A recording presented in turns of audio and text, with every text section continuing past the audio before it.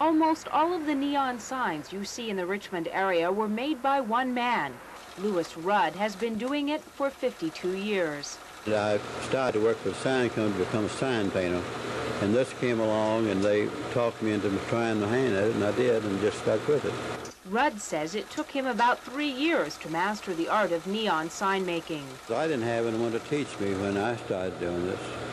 See, Tally went in business, and he knew nothing about it, and neither did I, and just learned by trial and error, and that's a pretty hard way to learn. Making neon signs is not a simple process. Rudd starts with a set of blueprints, makes a pattern, heats and forms the glass, then creates a vacuum for the gases that will light the neon tubes.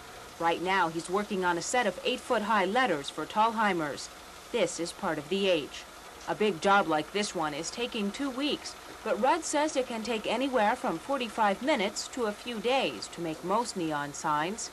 This familiar one on Broad Street took him almost two days. And although he follows blueprints and patterns, in every sign there is a little of Lewis Rudd. You have to want to do good work and want to put your, you have put yourself into it, so to speak.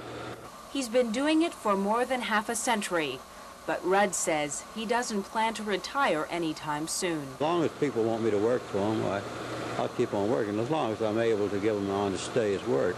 I enjoy doing it, that's one thing. If I didn't, I guess I would uh, be in a rocking chair maybe. But I enjoy doing glass work, and that's why I keep on, keep on doing it.